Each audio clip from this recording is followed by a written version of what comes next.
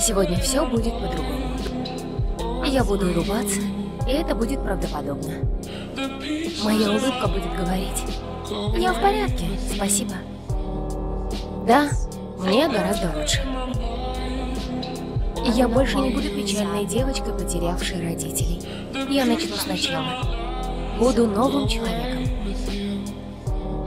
Только так можно жить дальше. Я был худым, был толстым, страшным и красивым, странным заикой, с отличными волосами.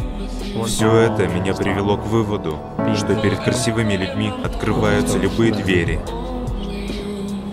Говорят, что красота не главное.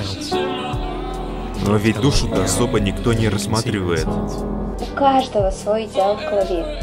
Если твой не соответствует эталону другого человека, это не значит, что с кем-то из вас что-то не так. Нет. Я во всем, что вокруг. Я тьма, и я свет. Я солнце, и я шторм. Но я до сих пор здесь, в твоей боли. Я причина всего на свете.